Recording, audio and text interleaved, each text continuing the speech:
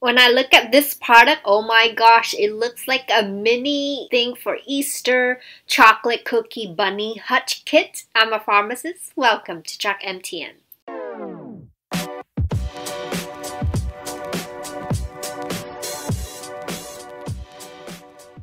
Here's the thing Wilton Industries is the company's name, and the brand name is just Wilton. They issue an allergy alert on undeclared milk in ready to build chocolate cookie bunny hutch kit. So, like, kind of like Christmas when you have this whole gingerbread house kit. Well, for Easter's, they have a bunny Easter kit. it's very colorful, very Easter spring like. They did this initiating voluntary recall ready to build chocolate cookie bunny hutch kit. I wonder if you can eat it because oh my gosh, it looks divine, very colorful, especially if you have kids, it's gonna be marvelous. Due to a milk allergen missing from the contain statement, this ingredient list on the package say skim milk powder as an ingredient. However, the statement did not include milk as required, which I don't understand. Like milk powder is okay, but milk skim milk is not weird. Anyway, if you're not allergic to milk, who cares, right? It's so pretty. Like I would just want one just sitting in the back of my background and say, "Hey, we did kind of celebrate Easter in a way." It looks marvelous. Yeah, it was exactly 2022 Easter seasonal item distributed nationwide through retailer stores and even e-commerce including wilton.com on the website in the US. This item was sold in Colombia.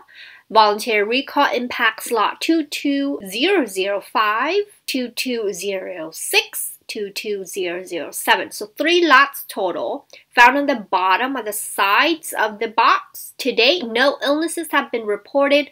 Oh, thank God to the milk allergen. So oversight was brought to their attention as a result of a customer inquiry. Then they confirmed that the skim milk powder was included in the ingredient list but not listed as contained statement. So it, in other words, it's just wording. Like milk product, skim milk powder, still like milk allergen stuff.